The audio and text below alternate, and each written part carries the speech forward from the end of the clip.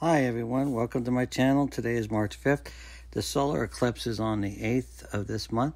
These are some uh, uh, solar eclipse glasses that you can purchase on Amazon. Um, I have different kinds you can purchase. I'm not uh, saying anyone's better or anyone's worse, but these are some that I found and you can look for yourself and go by the reviews. And these are ones you could uh, modify. You can put it on your phone. You can wear them so this is what I'm going to get. I'm supposed to be getting them pretty soon. I'm probably going to get them Sunday. I waited too long. I shouldn't have did that. So these are telling you how you can wear these solar eclipse glasses. So if you're interested, I know a lot of people are going to be watching the solar eclipse and they're going to be doing all sorts of things and it's a very great occasion. It's something new. It's about the earth and how history has changed and how how uh, everything's going on. So this is going to be a small clip on uh, the solar eclipse. These are what we're going to be wearing. These are some ideas. You know, this shows that they're tested and certified, so you know you're not just buying a regular pair of uh, paper and putting them on your eyes. You know, because it's very dangerous. We don't want to burn our eyelids. I'm not sponsored or anything, so you got to make your choice for yourself what you buy and purchase. But these are what we're gonna get. We're gonna try them because we don't want to burn out our our eyeballs. We we're gonna get old eventually, and our eyeballs ain't gonna be as good as as, as they were when younger. But this is just a little bit of video on like what you're gonna do, how you're gonna handle it, and all that. So we're gonna get it.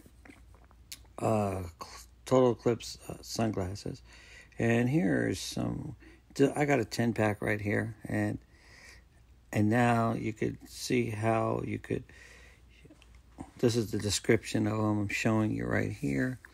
So there's going to be a lot of them out there, like I said, but these are pretty good, I guess, and they're all going to be pricey. And, and I had to get shipping because I guess my Prime membership ended, so now I have to pay for shipping. But I talked to them and they said they could refund me for my Prime membership. Mostly, a lot of people they get stuff at Amazon so they could take it back, and there's no, there's no. Uh, it's a no brainer. And if you don't like something, take it back, get something you want. Many times that's what I do, and that's what everybody else does.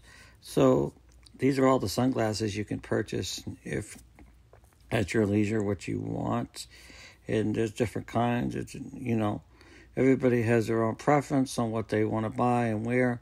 So we're just getting those. I should have did more research on it, but the total eclipse is supposed to be at 235 to 330 on uh, April 8th. So make sure you guys take time to go watch that. Make sure you guys have your eyes protected because we don't want to go have anybody go out there and hurt their eyes because we got to see. some quick facts about so the total this eclipse. This is a video on the total and eclipse. It's going to be on I March. you liked it. No, April. It and thank 8th, you for watching. 2.30 to 3 something to 3.15. I think it's going to be very short. Um, it's going to be in Texas and Oklahoma area. So make sure you guys watch it. And these are going to be the best places to go. You're just going to have to do your homework to find out where to go, the best way to see it.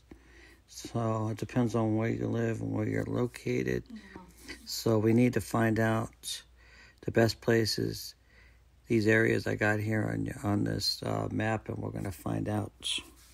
So we want to Make sure that you guys are there in time and make sure that you guys are safe. Make sure your eyes are safe and make sure that bring all your loved ones with you to see it because this is going to be real quick and, and it's going to tell you. And I got it different areas like Oklahoma you could go and other areas and just make sure that you guys are prepared. It's going to be pretty interesting to watch and they're going to be make sure the weather is good that day. Make sure it ain't going to be storms. I'm thinking there's storms going to happen, but you're going to have to watch the weather report that day, and then to make sure that everything is is good around you, and make sure that you're not too crowded with other people, so you can have a good view of it.